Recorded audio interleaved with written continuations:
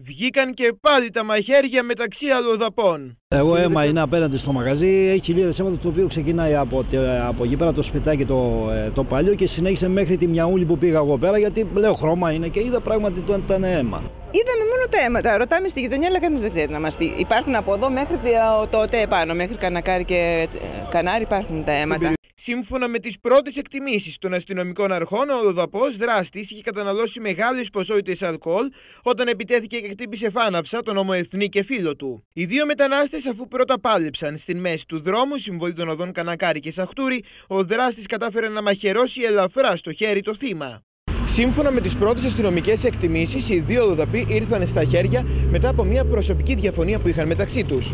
Τον χτυπημένο Λοδαπό βρήκε αιμόφυρτο. Περαστικό στα ξημερώματα η συμβολή των οδών Κανακάρη και Μιαούλη. Και εδώ δίπλα που είναι τα κατοίκητα αυτά τα παλιά, ε, μπαίνουν συνέχεια μέσα και του έρχονται, τους βγάζουν με την αστυνομία, ξαναμπαίνουν, ξαναφεύγουν.